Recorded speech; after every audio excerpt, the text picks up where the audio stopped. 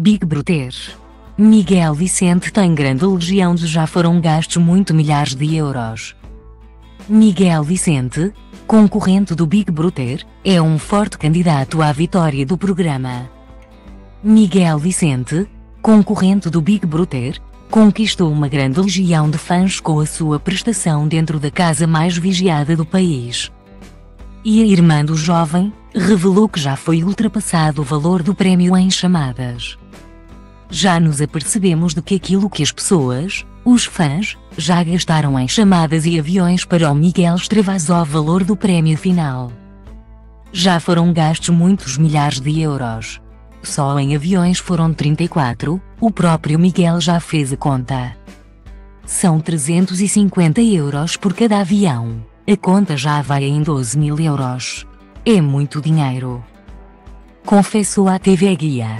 Os fãs dão dinheiro para paz de chamadas.